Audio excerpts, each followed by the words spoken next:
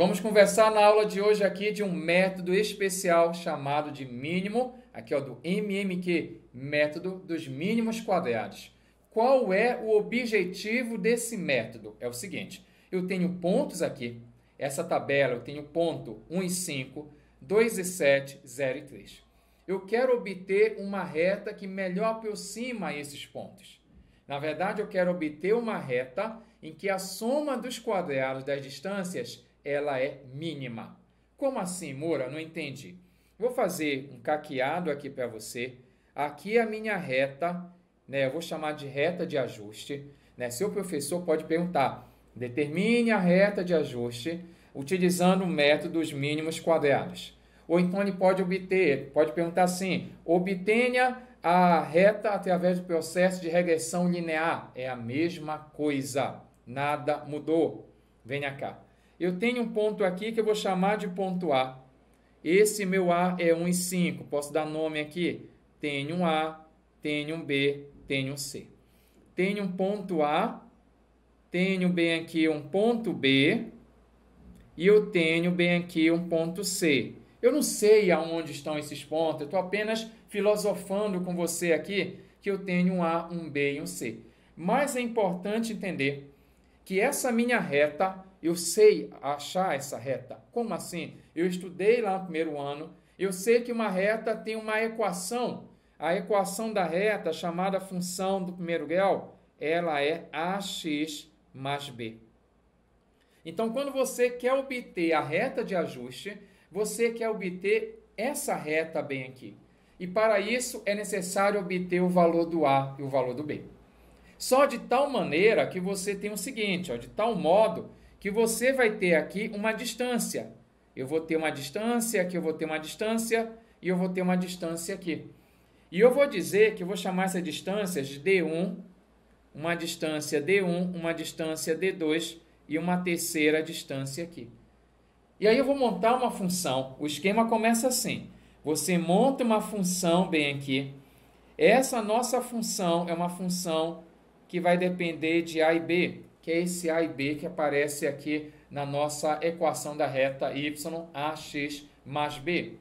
Essa minha função de AB, ela vai ser a soma dos quadrados de D1, D2 e D3.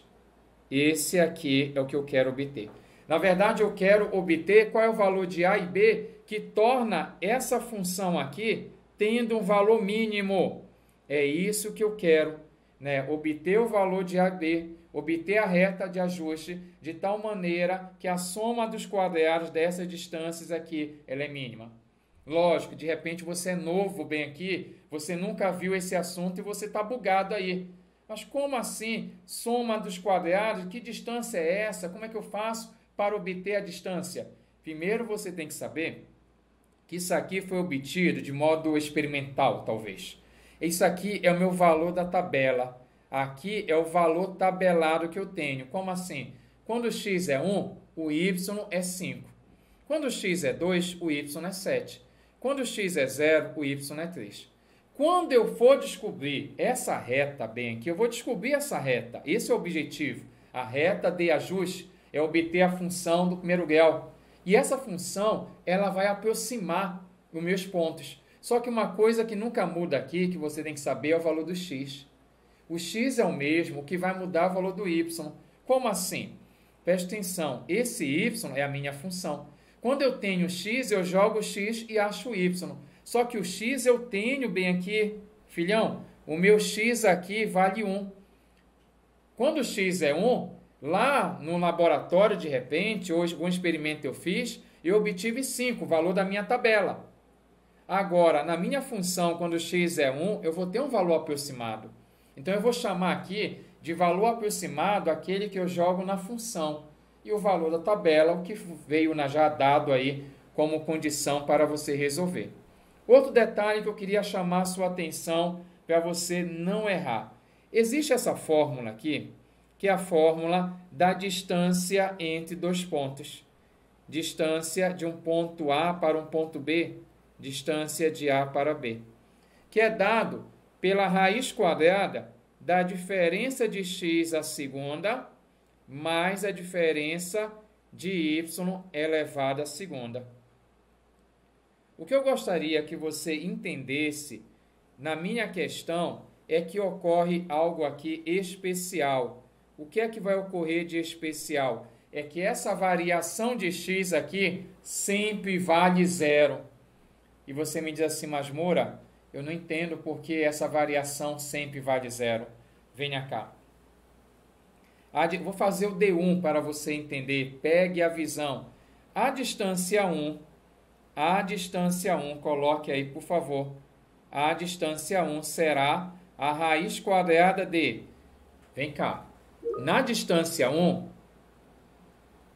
Alguém perguntou alguma coisa, eu esqueci de abaixar o meu áudio do computador. Desliguei o áudio do computador. Sempre desligo para não ficar bipando. Qual foi a pergunta?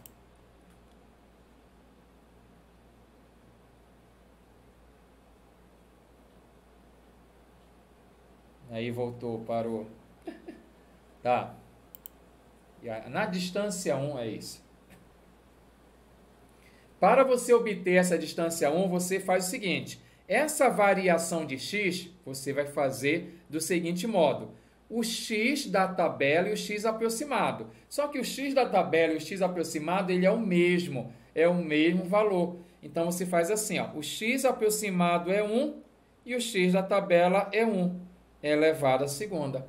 A diferença que a gente vai ter é na variação de y, porque eu vou ter o y aproximado. Como é que eu faço para obter o y aproximado? Como eu tenho x, eu jogo na função. Como eu pego o número 1 aqui, que é o x, jogo na minha função, eu vou ter a vezes 1 mais b. Esse é o valor do y aproximado, menos, menos, menos o y da tabela, que é o número 5. Esse cara elevado à segunda potência. Vê se você pegou a visão. Deixa eu ver se eu não estou empatando. Não, tá ótimo. Então é assim que você faz o esquema. Só que eu tenho boas notícias. Né? Te acalma, tenha fé, tenha fé. Primeira notícia: esse cara vai dar zero. Mas não é aqui que deu zero. Toda vez a variação de x é zero. O que vai sobrar é apenas essa segunda parcela, bem aqui. Quando eu pego o x, jogo na função e eu vou ter o valor do y aproximado menos o y da tabela elevado à segunda. E um outro detalhe importante, filhão, é que essa raiz corta. Mura, por que a raiz corta? Porque quando você eleva, olha esse 2 aqui, ó.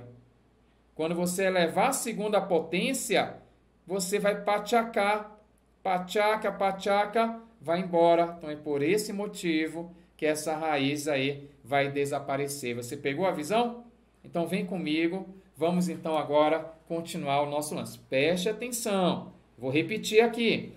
O meu f de AB, que é a minha função que depende de AB, você vai colocar assim a nossa função aí.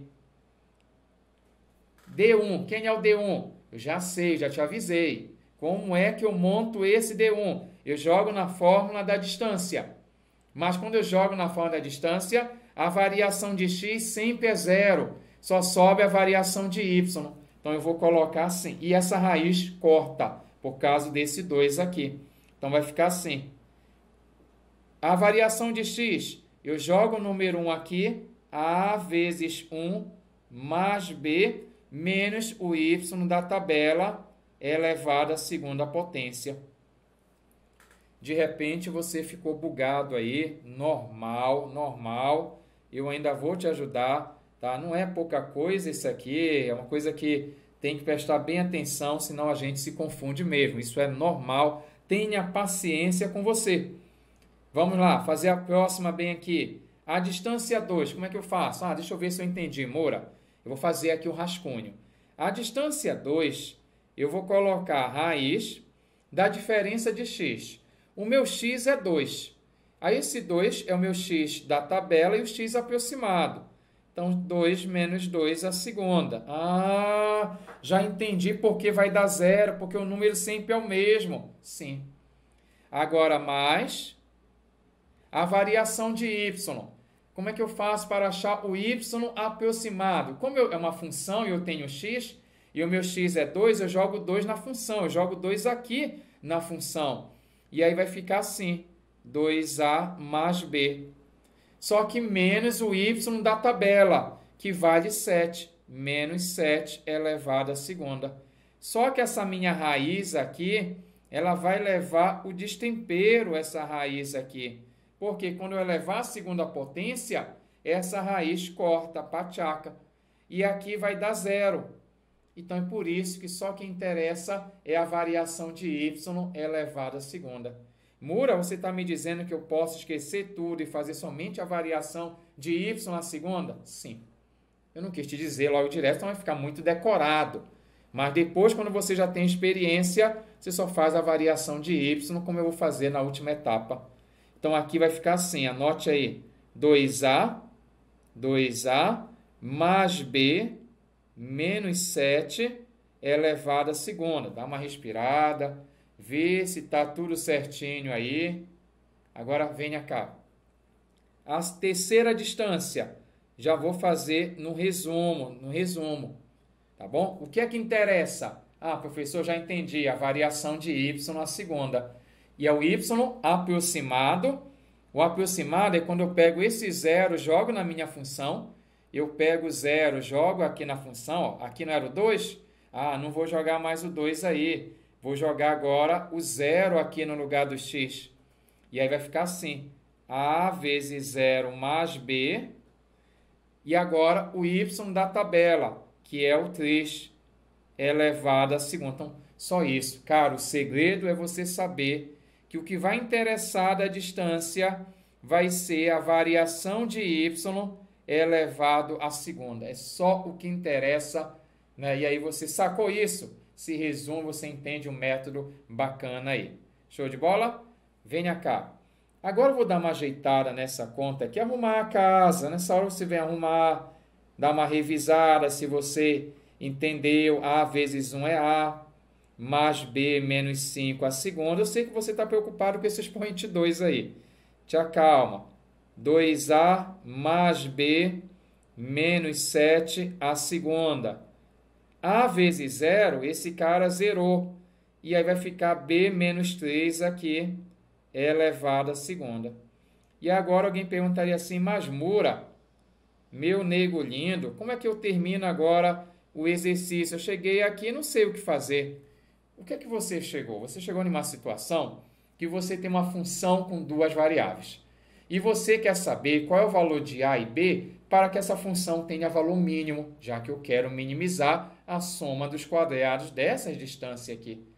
Então, eu estou te dizendo que eu preciso voltar ao estudo de funções com duas variáveis e aquela história, como é que eu faço para obter um valor máximo ou mínimo? E nessa hora você dá um berro de já sei, Mura, já sei.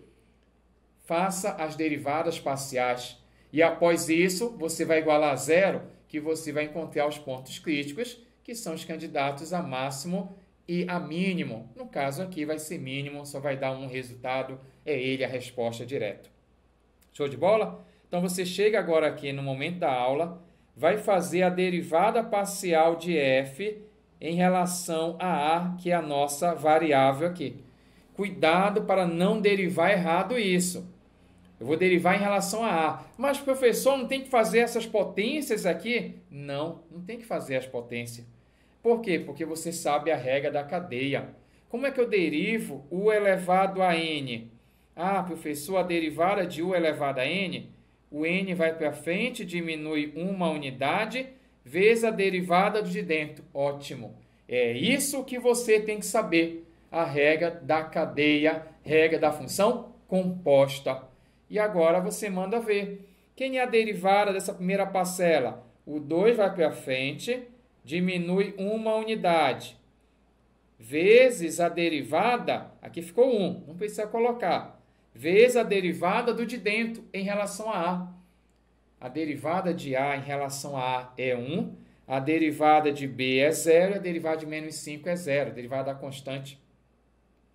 Vou derivar a segunda parcela em relação a A o 2 vai para frente, diminui uma unidade, 2a mais b menos 7, vezes a, aqui que ficou 1, viu? Não vai se perder. Vezes a derivada do de dentro em relação a A. A derivada de 2A é 2. A derivada de B em relação a A é 0. De menos 7 é 0. Eu tenho aqui 2.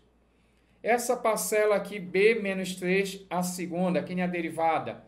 É zero. Por quê? Porque esse cara não tem A, né? Não tem A. Pode logo pensar assim. Se quiser fazer a regra da cadeia, pode fazer, que vai dar certo, que depois vai ter que derivar o de dentro, que vai dar zero. Mas esse cara não tem valor aqui, ó. Esse cara não tem valor de A. Derivada constante vale zero. E aí morreu a paradinha. Vamos dar uma ajeitada nessas contas aqui por gentileza, vai ficar dois. Aqui, ó, tem que fazer as contas. Normal, na simplicidade. Você vai fazer as contas bem aqui. Ajude aí. 2 vezes A, 2A. 2 vezes B, 2B. 2 vezes 5, 10. Dá uma respirada. Aqui do lado, cuidado com esse 2. 2 vezes 2, 4. Então, vou fazer 4 vezes 2 vai dar 8A. 4 vezes B, 4B. E 4 vezes 7, 28. Isso aqui eu vou igualar a zero logo. Por que eu vou igualar a zero? Porque eu quero obter o ponto crítico, o cara que zera a minha derivada parcial. Vamos reduzir os termos semelhantes? Eu tenho que eu tenho 2A mais 8A, 10A. Eu tenho 2B mais 4B, 6B e eu tenho menos 10, menos 28 vai dar menos 38, igual a zero.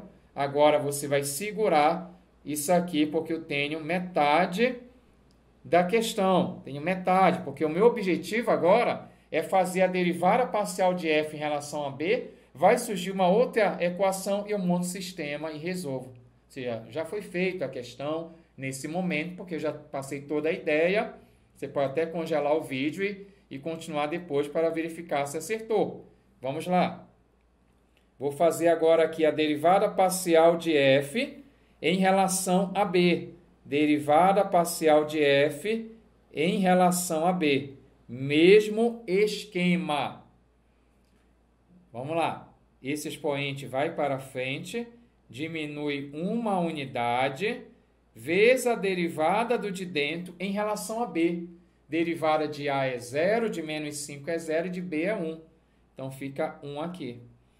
Próximo, eu vou ter aqui o 2 vai para frente, diminui uma unidade, 2A mais B menos 7, vezes a derivada do de dentro em relação a B. Só que a derivada de 2A em relação a B é 0, de B em relação a B é 1 e de menos 7 é 0.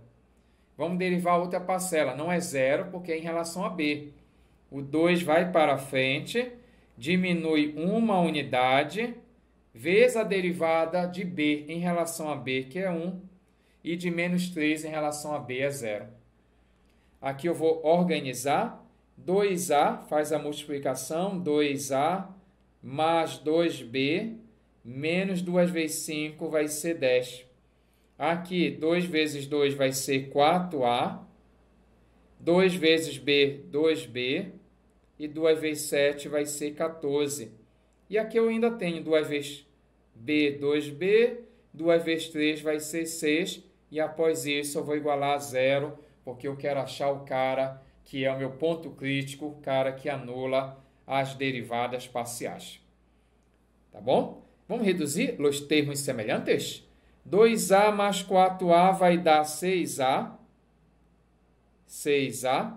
Aqui eu tenho 2b mais 2b mais 2b vai dar 6b. E eu tenho menos 10, menos 14, menos 6. Sinais iguais, conservo o sinal e soma, menos 30 e agora eu vou pegar aqui e vou atrás para resolver aí o nosso sistema. Tá bom? Dá uma notada que eu estou voltando.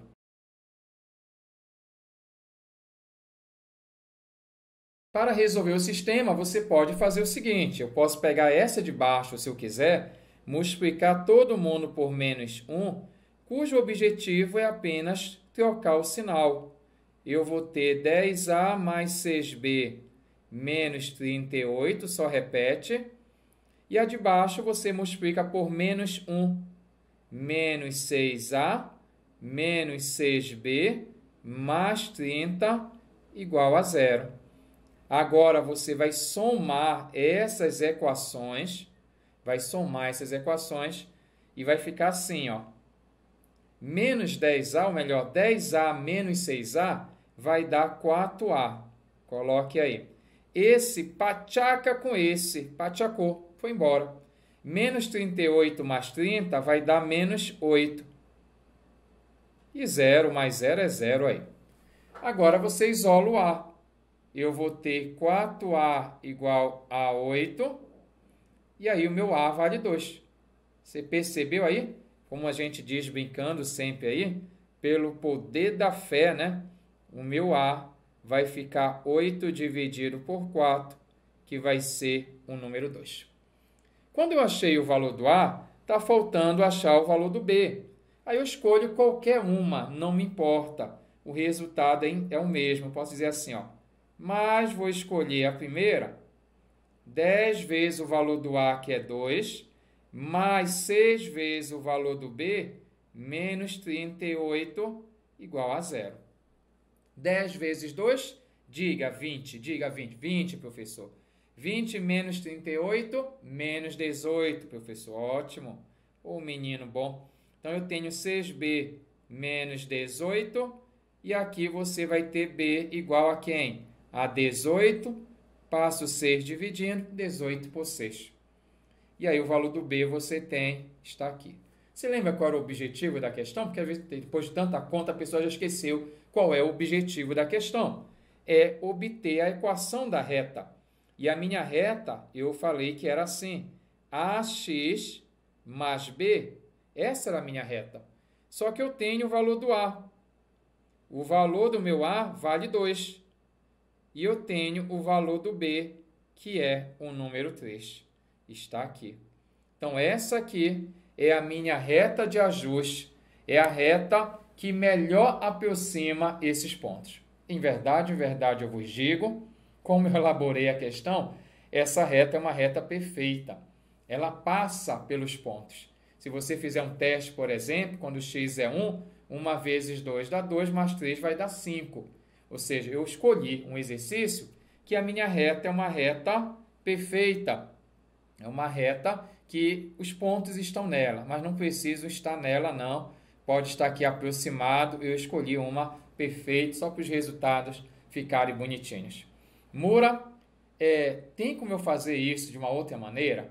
Porque, professor, eu estou preocupado, eu tenho um exercício aqui, e no meu exercício não tem apenas três pontos, porque quando tem três pontos, é, cara, é legal fazer, é aventura fazer através de cálculo isso aqui. Mas se eu tivesse, imagina só, uma tabela e nessa tabela eu tivesse sete pontos.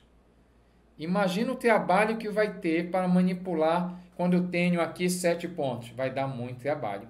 Por esse motivo, eu te convido a assistir a próxima aula que eu posso resolver isso aqui através de uma outra maneira. Não é outra maneira, é a mesma, só que generalizada. Eu te espero. Rapidola. Fala, Rapidola, gostou dessa aula? Quer mais conteúdo? Acesse a próxima aula aqui e não esqueça, deixa o seu like aí, seu joinha parceiro, sempre compartilha e divulgue o nosso canal Rapidola.